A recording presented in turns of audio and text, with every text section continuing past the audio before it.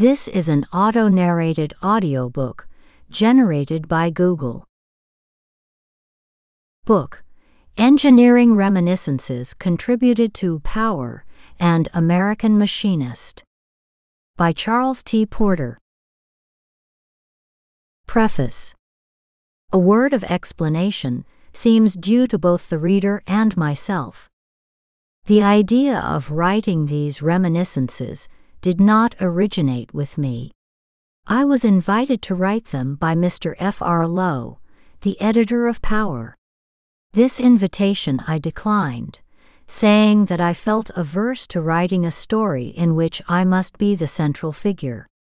Mr. Lowe replied that I should regard it as a duty I owed to the profession.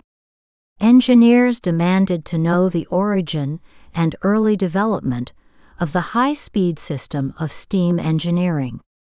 I was the only person who could meet this demand. No one else possessed the necessary information. I felt obliged to yield to this view, and can only ask the reader to imagine that I am writing about somebody else. CTP Montclair, NJ December 1907. End of preface.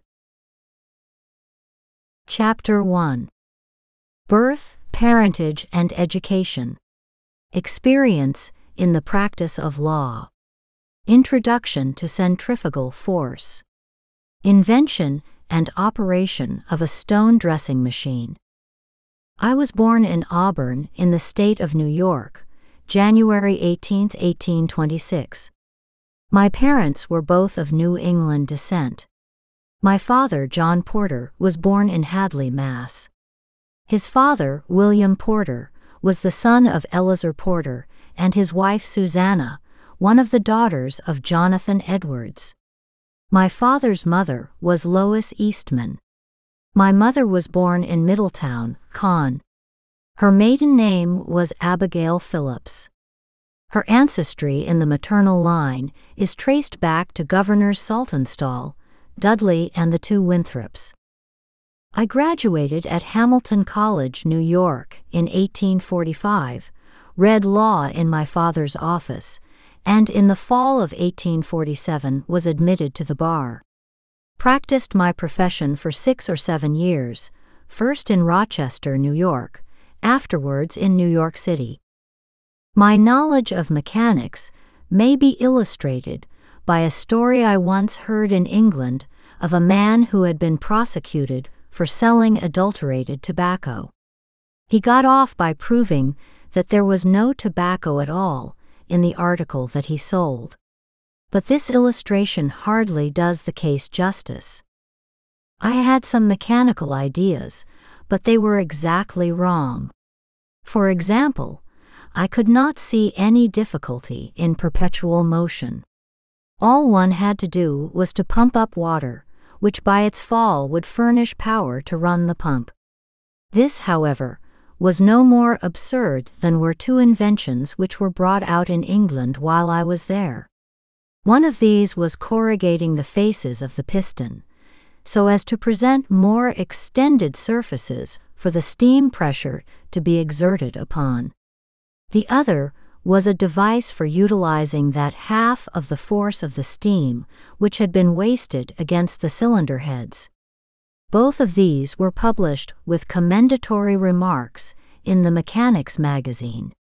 The last, if I recollect rightly, was the original bottom feature of the Wells balance engine. My error was that I made no account of friction, which must be overcome before motion can take place we shall see before long the same disregard of friction by men who ought to have known better. My utter ignorance of everything mechanical at that time is capable of proof. I stepped right into one of those springes to catch woodcocks which were being said in those days, and proved myself to be about as green a gosling mechanically as ever was plucked. I had a client by the name of Searle who was a deadbeat. He owed me about $100, which I could not collect. He finally called upon me and told me frankly that he could not pay me one red cent because he had no money, but he could put me in the way of making a fortune, and he was anxious in that way to discharge the great obligation which he felt himself under to me. A new invention had appeared called the Gwyn and Sawyer static pressure engine that was bound to revolutionize all applications of power. It was, he told me, attracting great attention in engineering circles, and there had been a hot discussion over its theoretical principles, but its advocates had successfully vanquished all their antagonists, and now the invention was established on a perfectly sound scientific basis. If I would give him a receipt in full for the money that he owed me and put another $100 into this enterprise, he was in a position to secure for me a number of rights to use the machine. He kindly offered to introduce me to Mr. Sawyer. Mr. Gwyn was unfortunately absent from home at the time. I learned afterwards that he was in jail. Mr. Sawyer received me most graciously.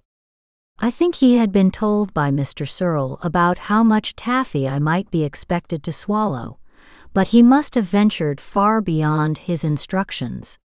He told me that he was delighted to make my acquaintance. He had frequently heard of me through our mutual friend, Mr. Searle, and of my triumphs at the bar, and had come to feel a great admiration for me, and was proud to show this great invention to a man so eminently capable of appreciating it. He told me that the invention was a practical method of utilizing that wonderful power known as centrifugal force. This force could be obtained in any amount. In fact, it was the force that kept the universe in motion. It had lain unutilized for so long a time because engineers had never been able to apply it practically. This difficulty had been completely overcome in this great invention, and this wonderful power was now to be made available for the world. He gave me quite an oration on the subject, saying, We do not antagonize the forces of nature. We utilize them and apply them to beneficial purposes. Consequently, all nature cooperates with us, and more to the same effect.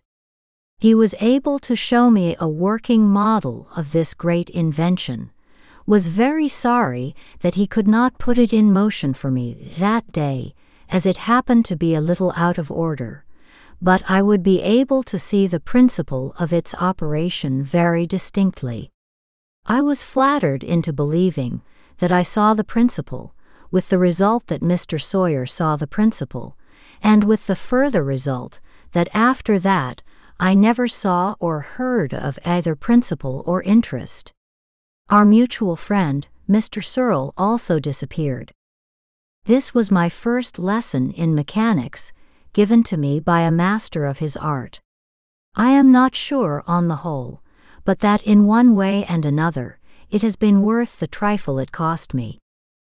Had anyone at that time told me that the expression centrifugal force is entirely misleading, that in reality there is no such force, that what goes by this name is not a force at all, nothing but a resistance, the resistance which a body revolving around an exterior point opposes to being continually deflected from a straight line of motion, and which ceases the instant the deflecting force ceases, when the body merely moves on in a straight line tangent to the circle, and in bodies revolving around their own axes or centers of gravity is the same resistance of their atoms, he would probably have had about the same success in making me see it that I long afterwards had with some engineering friends.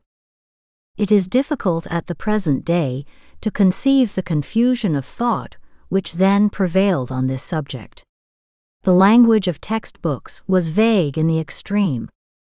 The coincidence is not without interest that my first mechanical experience, though in this ridiculous fashion, should have been with what was to become so prominent a feature of the high speed governors and engine. I had for some time felt a growing disgust with the profession of the law. The contrast between the glorious science of human rights and the art of its practical application was very forcibly presented to my mind. I realized the fitness of the protest of Bryant, who described himself as being forced to drudge for the dregs of men. I was a regular reader of the Evening Post, in which an article appeared one day, written by John Bigelow, then the editor of the Post, laudatory of a certain judge whose term on the bench had lately closed, and who then retired from the profession. On this act, Mr. Bigelow warmly congratulated him. Among a number of pungent expressions in the article, one was particularly struck by this one. The association of lawyers is mostly with knaves and fools. My own experience bore witness to the truth of this statement. A few legal successes, which cost me incredible labor, interspersed of course with disappointments, weighed nothing compared with the daily association which I seemed compelled to endure. I formed a scheme for establishing a conciliation office for the amicable settlement of disputes, but found every man prepared to compromise on the extreme verge of his own position. So I gave that up. I had another client, a Mr. Hastings, who had invented a stone dressing machine, which he had patented, and the patent for which he wanted to dispose of. He had a working model of his invention, which was operated for visitors in the shop where it was built. He invited me to go and see it, which I did, and it certainly worked very well indeed. I recalled afterwards that the stone was carefully bedded on the table of the machine. I was quite fascinated with it, and took some friends to see it who were equally captivated, and the result was that we bought the patent. To make sure of its value, however, I first called with Mr. Hastings on Mr. Munn, his patent solicitor, and received Mr. Munn's assurance that he had a very high opinion of it. I gradually abandoned my law business and devoted myself to the exploitation of this invention. I put into it all the money I had and all that I could borrow. After a while, a large working machine was completed for us, the drawings for which I had made by a German draftsman, and which was built under my direction at the works of Mott and Ayers near the foot of West 26th Street. When this machine was finished, the parties in interest assembled at these works to see it tried. One experiment was enough. I had put into the machine a stone that was quite a foot thick and which was supported at two points. At the first cut made across this stone, it broke in two in the middle.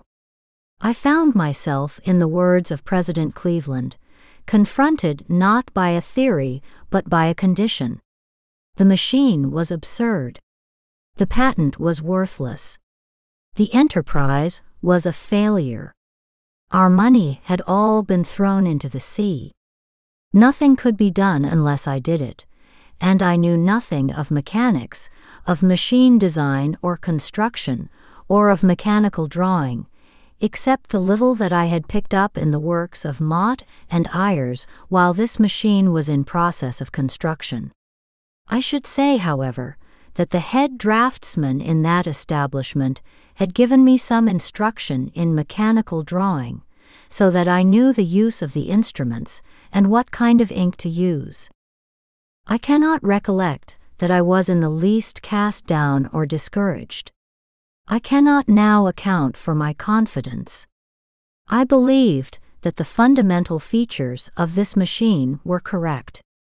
These were cutting stone by a blow given by a hammer moving in an inclined direction, and which was thrown up by a cam and thrown down by springs. The more I reflected upon it, the more I became convinced that a successful stone dressing machine could be made on those general lines, and in no other way, and I also became impressed with what seems the almost absurd conviction that I could make it. The machine that broke the stone had a broad hammer, a cast iron plate, with tongues on the sides running in grooves in a frame, and to the end of which a long steel blade was bolted. My first idea was to divide the single broad hammer into several hammers working side by side and striking their blows successively. The second was to separate the hammers from the tool holders. The third, to employ the same tools that were used by stone cutters, namely the point, tooth chisel, and drove, and to give them as nearly as possible the same blow that was given to them by the workman, and the fourth, to give to the tools only the blow necessary to do their work. I infused my own enthusiasm into my associates to such a degree that they agreed to put up the money and let me try the experiment. That also is something that I now wonder at.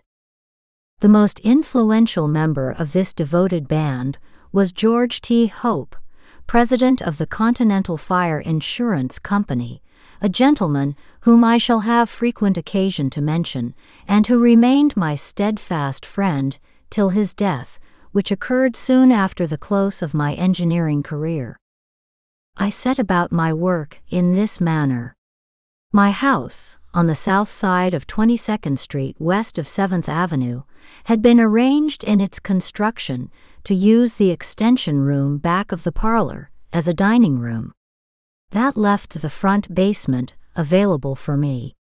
This I equipped for a drawing office and set myself at work to learn mechanical drawing and at the same time to design this machine.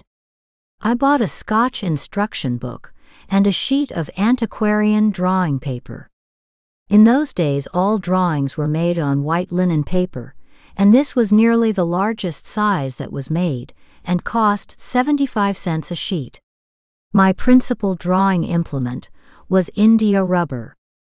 As my plans grew in my mind, I had to rub out my preceding sketches.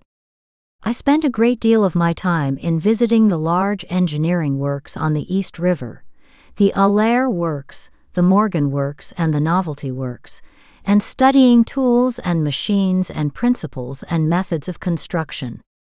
I tried to get my mind saturated with mechanics. I finally succeeded in producing the design, this vertical section of which I have sketched from memory after 50 years.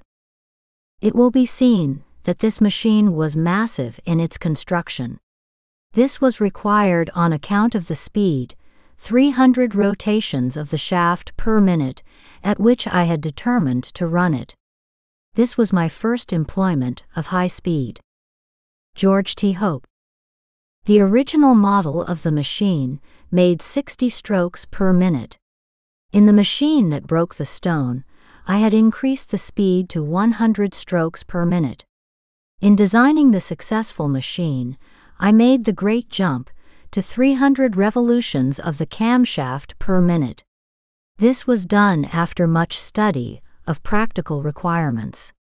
I observed carefully the speed of planing machines.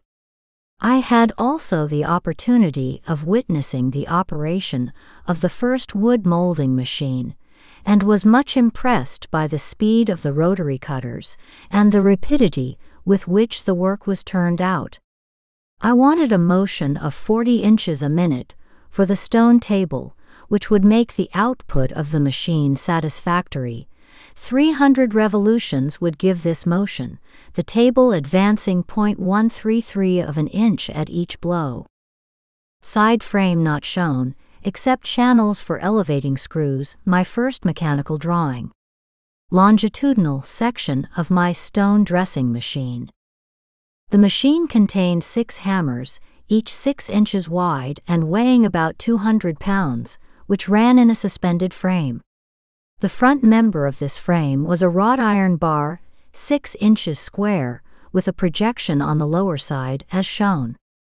At the ends, this bar was first reduced to five inches square, the corners rounded to one inch radius, and mortised into cast iron sidebars four inches thick, one of which is shown in the sectional view. Beyond these sidebars, the wrought iron bar was turned down to journals 3 to the power of 1 inches in diameter, which turned in the heads of large screws, one of which is represented. Beyond those journals, it was further reduced to 2 inches diameter, and the ends threaded. These projections extended through slots in the main framing, and nuts on the outside, provided with long handles, enabled the whole to be bound fast in its position, when that had been determined. The hammers had two faces. The upper faces struck on this 6 inch square bar, the lower faces struck the backs of the heavy tool holders. These tool holders were held in position in the manner shown. At the extreme back end, they rocked downward upon a heavy crossbar. At the front, they rose against the 6 inch crossbar. They were made with a heavy hook at the back, which prevented them from coming forward further than the projection at the bottom of this crossbar permitted. A curved spring held them up to the crossbar when the weight of the hammer was removed. Between the 6 inch crossbar and the tool holders and the hammer faces, I introduced a sheet of heavy leather belting, which deadened the force of the blow. A stone cutter uses a wooden mallet to drive the tooth chisels and droves, because the impact of iron on iron has a disintegrating effect upon the stone, which the stone cutters call stunning the stone. It produces a vibration in the body of the stone to a depth of perhaps inch, and, however well the surface of the stone may appear when it is finished, after a while the outside will flake off to the depth to which these vibrations have extended. This leather buffer served the purpose of the wooden mallet, completely avoiding this difficulty. Incidentally, also, it made the building habitable by transforming the blow into a dull thud, which at the rate of 1800 blows per minute from the six hammers was itself quite important to be done. The large screws on each side of the machine at the front were provided at the top, with long nuts resting on a crossbar and combined with worm wheels. A shaft carrying two worms engaging with these wheels extended across the top of the machine, so that the nuts were rotated identically, and the front of the suspended frame was raised or lowered as the thickness of the stone or depth of the cut required. The machine could cut stone from the thinnest ashlar up to a thickness of about three feet. The hammers ran on rollers, as shown. At the back, the frame and hammers were carried on similar rollers on the same shaft. The ends of this shaft also turned in square heads of screws, and by a mechanism similar to that already described, the back of the frame could be elevated or depressed to the height required and be set at any desired angle. The six tool holders were made in the following manner. I got from England a bar of steel long enough to make them all. This was planed into the form shown in the section, and the sockets for the shanks of the tools were finished to an equal depth and perfectly in line.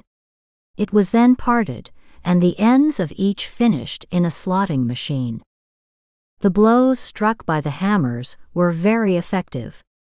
The cams had a throw of 1 to the power of 1, inches, but they threw the hammers back against the springs 1 to the power of 1 inches further, making their fall 2 to the power of 1 inches. This I ascertained by holding a piece of thin board edgeways between the upper end of a hammer and the crossbar at the back when the hammer crushed it up to this height. We never ran over the stone with the points but once. They made everything before them fly. On the other hand, the droves merely dusted the surface to take out the marks of the tooth chisels. All surplus force in the blow was received on the 6 inch crossbar. The tools stood motionless unless pushed back by the stone when they received a sufficient portion of the blow to drive them forward to their position. The feed motion was powerful, being imparted by a worm engaging in a worm wheel 24 inches in diameter, while the run back was swift, quite 100 feet in a minute. The sides of the steel tool holders, rubbing against each other, became after a while badly abraded. I was obliged to plane them off and dovetail thin strips of hardened steel into them. These prevented any further trouble. The sides of the end tool holders, however, which rubbed against the cast iron side bars, I observed were polished without sensible wear. This was a very important observation. These surfaces all rubbed together dry. The pressure was only the side thrust, which was very trifling. Under these conditions, the molecules of the same material interlocked, while those of the different materials did not. These two materials were, however, extremely different in their constituent features. Perhaps this point of freedom of some different materials from interlocking was still better illustrated by the set screws, where this difference of molecular structure did not exist in the same degree. These were made of Ulster iron, a superior quality of American iron then largely used in New York City for bolts. They were to the power of 5 inch screws and were also used dry, no oil being allowed anywhere over the stones. Each tool holder contained three of these set screws. The outside ones were tightened and loosened 60 times every day. The middle ones, where only the points were used, were tightened and loosened 20 times every day and at other times stood loose in their threads. The tool holders being massive, and the blows of the hammers also coming on the leather cushion, there was no vibration. At the end of the two years running, the outer bolts were all perfect fits. The middle ones were loose, but still held the tools perfectly. The rollers on which the hammers ran were hardened and turned on hardened shafts. The hammers themselves had chilled faces, and their surfaces running on the rollers were also chilled. The surfaces of the tool holders and of the bar on which these rocked were provided with hardened strips to the extent that they came in contact with each other. The cams and rollers and their pins were also hardened. When built, this machine was found to require only a single alteration. I had welded the cams onto the shaft, the welds being guaranteed by the smith to be perfectly sound. No appearance of unsoundness could be detected when the shaft was finished, but after running a week or two, the cams became loose. This also gave me a useful lesson. I was obliged to send to England for blocks of steel, which were bored, finished and keyed on the shaft in the manner shown, and the working surfaces of the cams were hardened. This required the substitution of new hammers, because the cams could not be threaded through the old ones. The hubs of these cams were six inches long, covering the shaft.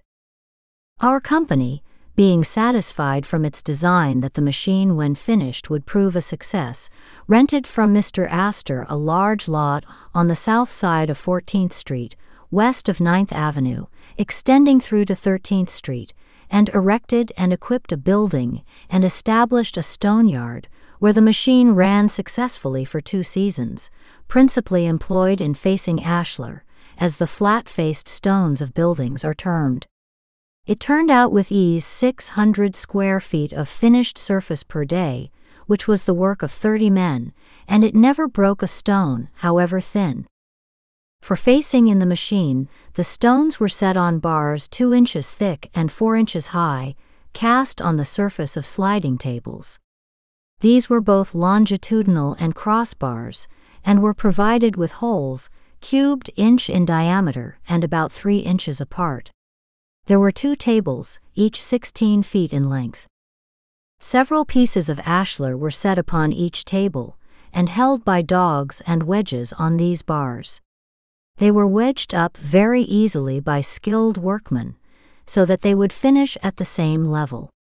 At one side of the ways on which the tables moved, near each end, was placed a swing crane, which was double and triple geared, so that by means of it any stone that the machine was adapted to cut could be lifted by two men.